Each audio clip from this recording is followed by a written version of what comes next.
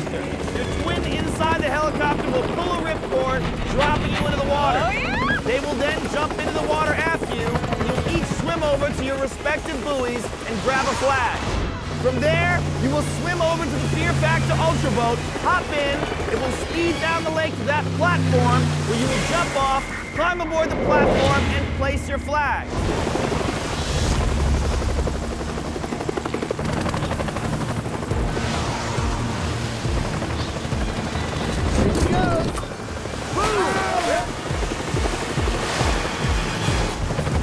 Gonna jump out. There she goes. Boom! They're both pretty accurate.